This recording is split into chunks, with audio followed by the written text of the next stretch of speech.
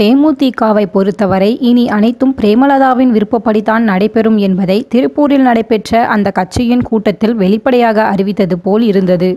தேமுதிக என்னும் கட்சியை தனி ஒரு ஆளாக துவங்கி தமிழகத்தின் எதிர்க்கட்சி தலைவர் பதவி வரை உயர்ந்தவர் கேப்டன்.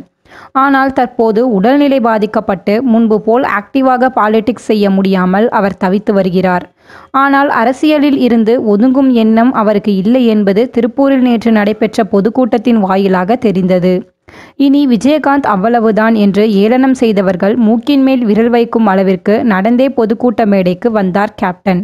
ஏன் விஜயகாந்த் வீல்சேர் பயன்படுத்தக்கூடாது என்ற விமர்சனங்களை முன்வைத்தவர்களுக்கு கேப்டனின் நடை சரியான பதிலடி கொடுத்தது.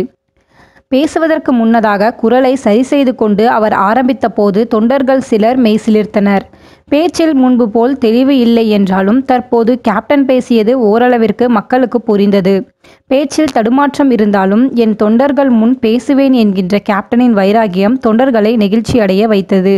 இப்படியாக கேப்டன் தொண்டர்களை வந்து சந்தித்துவிட்டு சென்றாலும் திருப்பூர் பொதுக்கூட்டம் முழுக்க ஒரு விஷயத்தை கூறியது. முன்பெல்லாம் பொதுக்கூட்டம் மற்றும் மாநாடு நடைபெற்றால் நிகழ்ச்சி நீரல் குறித்து ஏற்பாட்டாளர்கள் கேப்டனிடம்தான் விவாதிப்பார்கள்.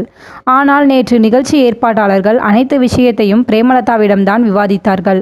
மேலும் கேப்டனுக்கு நிகராக பிரேமலதாவின் தடல்புடல் வரவேற்பு அளிக்கப்பட்டது. பேனர்கள் அனைத்தும் அகற்றப்பட்டாலும் கூட அதற்கு முன்பு வரை பிரேமலதாவுக்கு பிரம்மாண்ட பிக்சல்கள் வைக்கப்பட்டிருந்தன.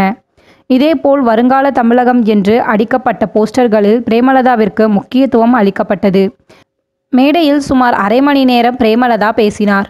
இப்படியாக எங்கும் பிரேமலதா எதிலும் பிரேமலதா என்றுதான் இந்த பொதுக்கூட்டம் நடந்து முடிந்துள்ளது. மேலும் இது போன்ற நிறைய சுவாரஸ்ய தகவல்களை தெரிந்து கொள்ள எங்களது யூடியூப் சேனலை சப்ஸ்கிரைப் பண்ணுங்க நன்றி.